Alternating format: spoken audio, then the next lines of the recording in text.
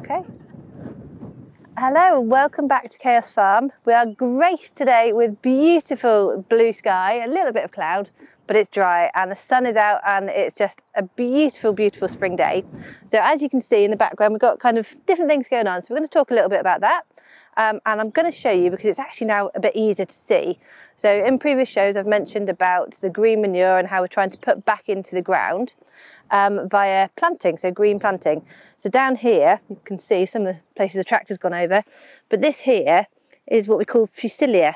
And it's really, really good um, green manure. So basically a plant that we can plant um, that actually puts nitrogen and goodies it back into the soil, um, which then prepares it for potato planting, which is what we're going to go on to in a minute.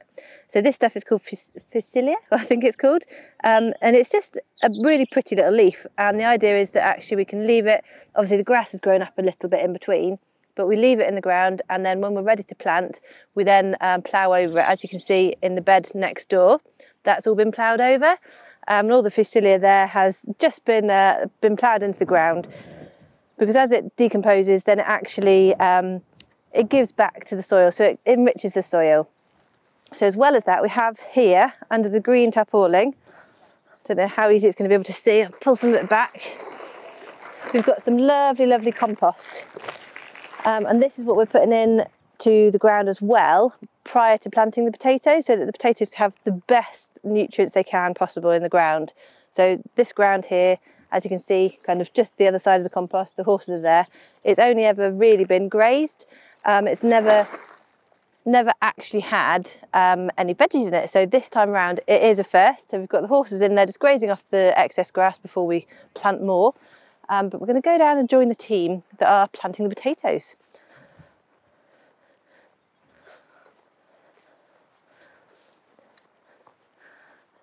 So we have from this end, we have Tam, we have Danny, we have Ness and Angel the dog.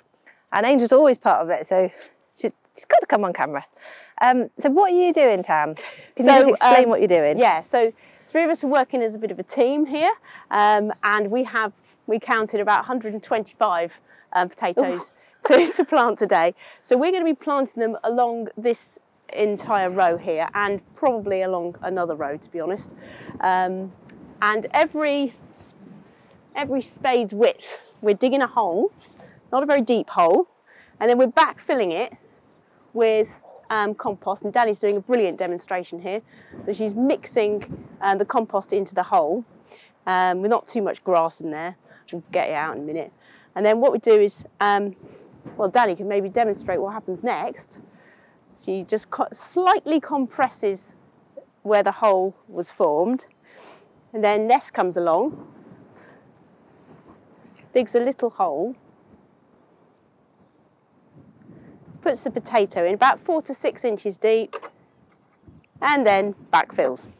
And then, so this is basically planting Duke of York. Um, they're a first early uh, potato and so they'll come up first, you know, sort of, they'll be ready about June, July time, I should think, yeah, they should be ready about then. So we're going to have a lot of potatoes. Uh, but it's quite a labour intensive process, hence we're working as a team and obviously we've got quite a large area to cover. So. Yeah, I can see the string goes right the way down nearly to the end of the, the line. Yes, um. so we, we need to have the string obviously to stop us from going on the wonk.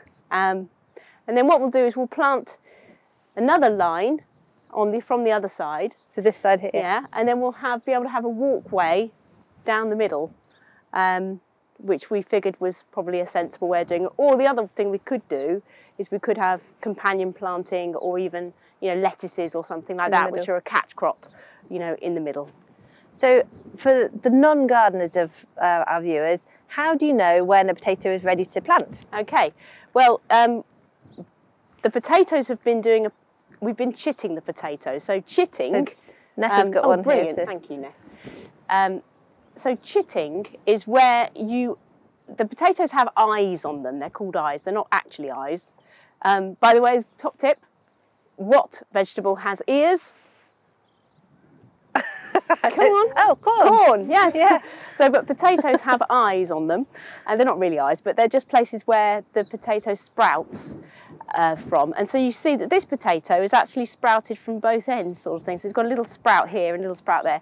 So all we do to chit is we place the potato after we've ordered it in the light, and then that encourages that first sprouting to take place, which is supposed to help um, advance um, the growing process, bring it on a bit. So uh, yeah, so we do that. So chit it first, and when you've got this very nice um, sprout, about an inch long, you know that they're ready to plant into the ground.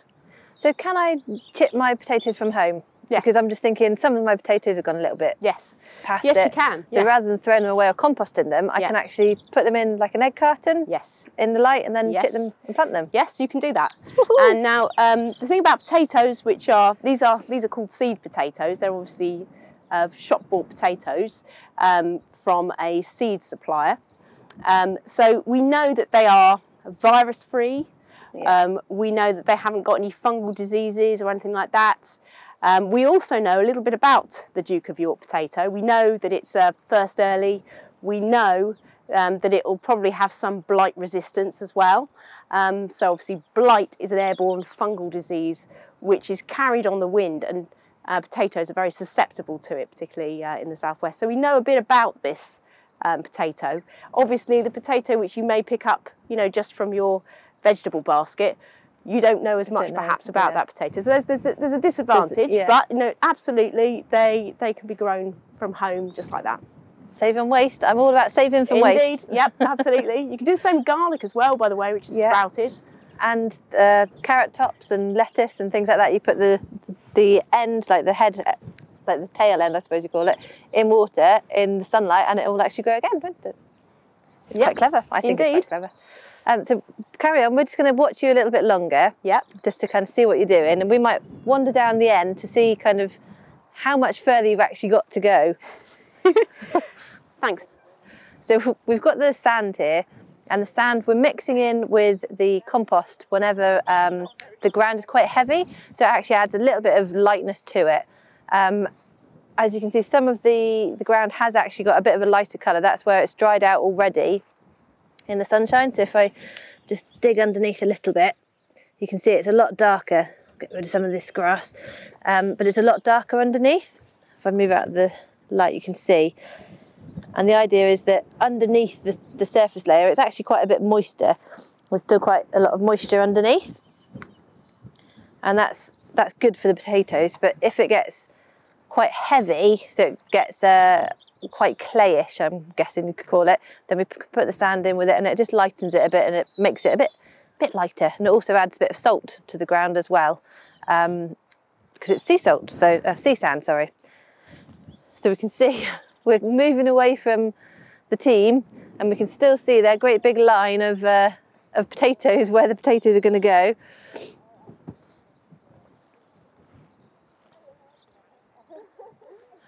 So we're coming all the way down here.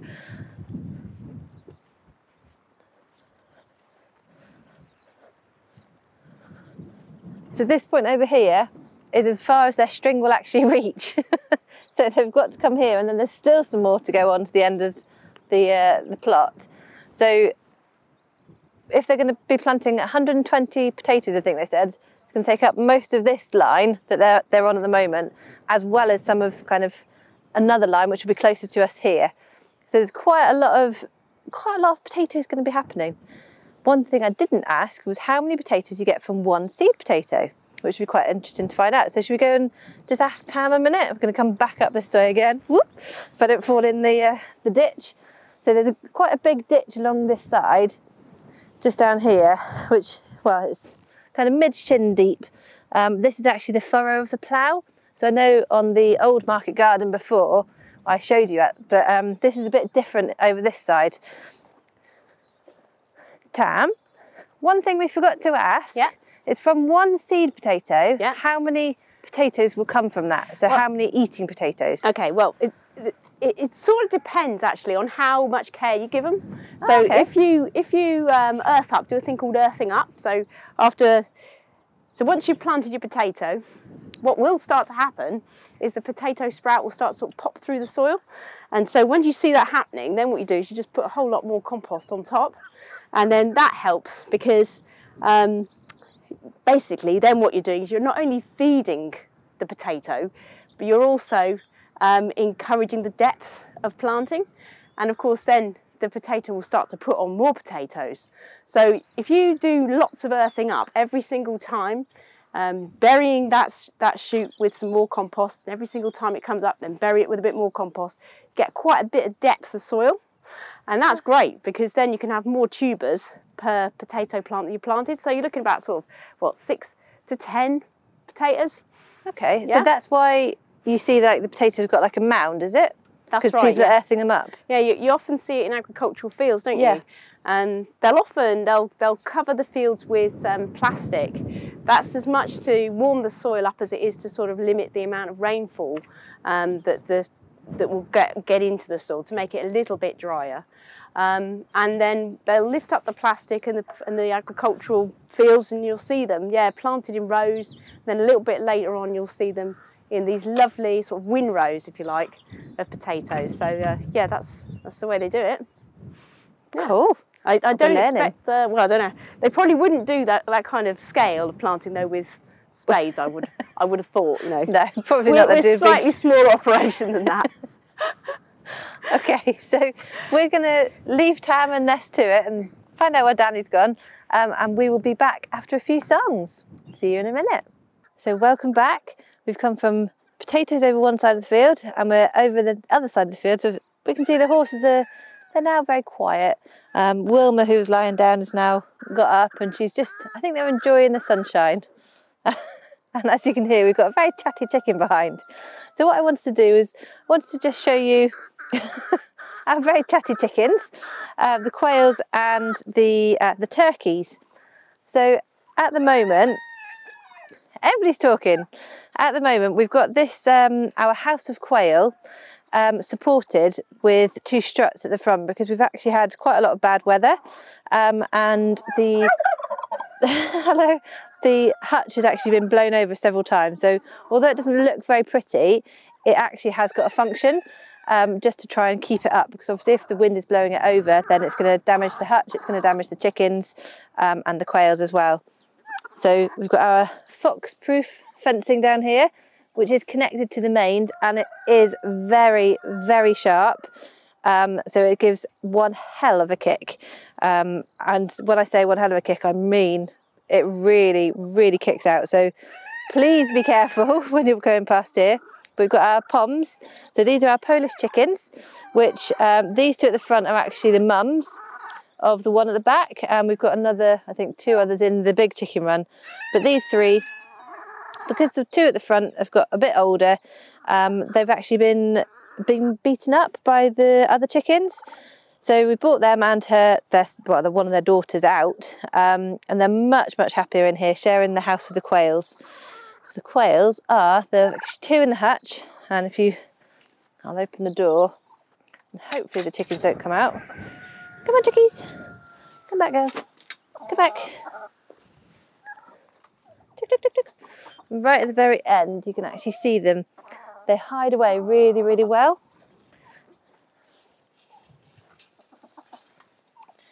But they're in here, and they're so happy in their little house of quail. So the three quails are actually boys. Um, we thought that we might have um, one boy and two girls, but they are actually all boys, unfortunately. But they blend in so well, um, and they just love to. They love to be in, in hiding. Oh, hello, chickies! And one of the chickens is actually at the moment pecking the cameraman's foot.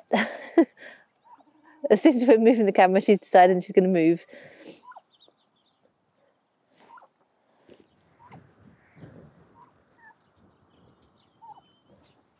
So in next door, you can see there's the turkeys. Let you go out again. Um, and next door, I want to tell you a little bit about the turkeys. So this is our first year actually having turkeys. Um, and as you'll know, we actually reared all of these from eggs. So yes, um, we actually reared them all from eggs. So this big one here at the front with the big tail. That's Cranberry, our turkey boy. Um, we did actually have two boys in here and uh, four girls. Um, but this weekend they've actually started fighting. So you can see on Cranberry at the back of his head, oh, thank you, he's actually got quite a lot of scabby bits, um, which is where they were actually fighting him. So you can see on the side of his head, the back of his head, and actually now on his bottom he's showing you, um, ow, they're pecking quite hard. So on the end of his tails, you can see there's um, his tail feathers. There's kind of a few bits taken out, and that's actually because they've been fighting. Um, so we have now separated the, the, the two boys and the other girl because this one here in the middle, it's just going to peck me again.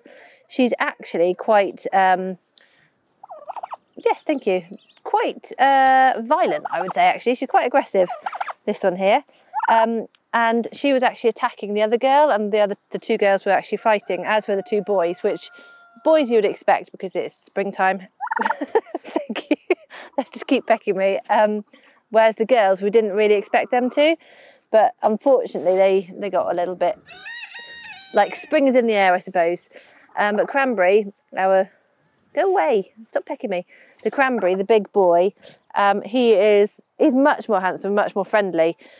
Um, as you can see, they're now in their bigger enclosure. We are waiting for the order of the fencing to come. Um, as soon as we've got good fencing, the, the, bottom of this field where the horses are, the whole of the bottom of the field is going to actually be sectioned off into um, runs for the turkeys, the chickens, and the um, the ducks. So they're going to have bigger spaces, um, which would be so much nicer than actually having them in these. Um, these do the job, and they're great for the winter, um, just to keep them all safe and kind of secure but actually what we want to be able to do is open them up so they've got more space, they've got more kind of freedom really. Um, because they're not supposed to be in cages, birds are supposed to be out. And what we want to do is, although the turkeys we need to be very careful with because they're quite a lot bigger, um, and they will beat everything else up because of their size. So we will separate them off, but actually the idea is that they want to be out and we want to have them as free range as possible really. Um, obviously keeping them safe away from badgers, foxes, dogs, cats, whatever around. I think that uh, a fox would have a bit of trouble trying to catch a turkey, if I'm honest. But what you can see now is actually cranberry. So the boy, his big, like droopy bit on the end of his beak, that's called a snood. But you can see all of his um, his bobbly bits at the bottom down here. Cranberry, oh. he's going to turn around. They've now gone blue. Um, so he changes the colour of them. So when he's trying to um, show off, he changes them from red to blue to kind of like a purple. And it's amazing how different they can be. And what he does, you can hear this sound.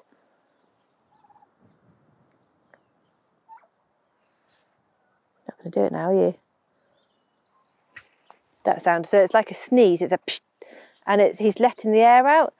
And it's amazing because he can turn his tail each different way and he's basically he's flirting with the girls. That's what he's doing. So he's showing off um, showcasing his brilliance. Um, and to a certain extent, I think he might be showing off to us as well. Um, because we've had to do some very quick changes to the uh, the enclosure. We haven't yet got an, a door on Turkey Towers, um, so we do need to get a door on there. But if I, once once we've got a door, then I will go and I'll pick him up. But at the moment, I'm not going to commando crawl underneath the electric fence. I'm afraid I don't really want to get um, electrified, shall we say. So as you can see, he is, I think he's very handsome. He's ugly, but he's very handsome at the same time. Um, and when the sun catches his feathers, his the goldy ends, um, there or the bronze they're called because he's a bronze turkey. The the bronze ends actually shine, um, so he does look really amazing. And obviously he's pluffing his feathers up to flirt with the girls. Um, and yeah, he's just amazing. But the amount of noises and vocabulary that they've got, they go from the kind of the spitting, kind of sneezing that he's doing to uh, to flirt with the girls, to gobbles, to chirps, to whistles, to all sorts. Um, they've got such a big vocabulary and they're so intelligent, which I never knew turkeys were before. I just kind of thought turkeys dinner table kind of food, um, but these guys aren't. And it's really interesting to see them grow and to see them kind of change and chat. And when I come out in the morning, I say, hi turkles, and they go, so they all gobble. Um, and they do chat to me as soon as I come kind of around the corner, they know. Um, and obviously they've still got their water to, to do at the moment um, because they're drinking a lot at the moment with the, the sun out. Um, so it's there's a lot we're learning about turkeys compared to chickens. They're a lot different, um, even though they're still a, a fowl, a bird. So yeah, so that's kind of the turkeys. So hopefully in the next few weeks we'll get some eggs from the turkeys. Um, I don't know kind of how big they're going to be because normally when it's first eggs they are a lot smaller. Um, so they may not be as big as kind of your natural turkey eggs, I suppose, um, if you're having kind of grown up eggs. But these guys we will see. So as soon as we've got them, we will talk about it. Um, and in next week's show, I'll actually show you our Marran eggs. So the Marans that we grew at the same time or hatched at the same time as these guys, they're actually now starting to lay. Um, so we're gonna, I'll show you some of them. We've got, I think maybe 12 or 14 at the moment.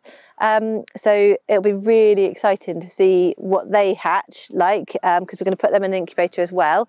So they should probably be maybe another week to 10 days um, before we actually have enough eggs to incubate them and then we'll we'll set them in the incubator um, so it'll be 21 to 27 days thereafter that we get chicks from them which will be very exciting so hopefully by that stage we'll have all the turkeys and chickens will be out free range and we'll then be able to use one of these enclosures for the chicks once they're a little bit bigger um, and go from there so should be very exciting I love having chicks around um, whether we'll have any turkey chicks in that time, I don't know. It might be more towards the end of the summer, but we shall see. So for the minute, I'm going to leave you with Cranberry and his, his lady friends.